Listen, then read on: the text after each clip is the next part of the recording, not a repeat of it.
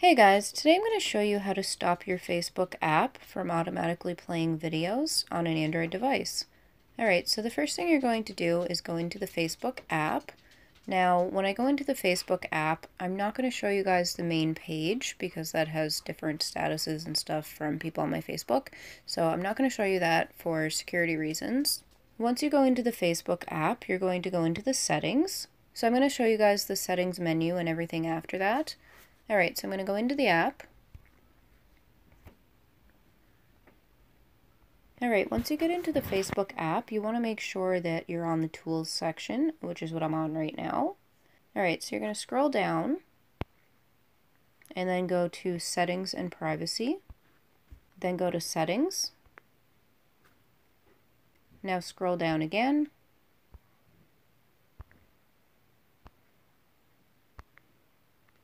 Alright, now you're going to click on Media and Contacts. It says Manage Photo, Video, and Sound Controls, Continuous Contact Syncing, and Clear your browser. Now you're going to go to Autoplay. Alright, so it says Autoplay videos begin automatically as you scroll. Videos use more data than other stories on Facebook, so choose when your videos autoplay here. And then it says choose when videos autoplay on mobile data and Wi-Fi connections is automatically selected. Under that you have on Wi-Fi connections only and never autoplay videos. So you're going to select never autoplay videos. Alright, so it says changes have been saved. Now go back.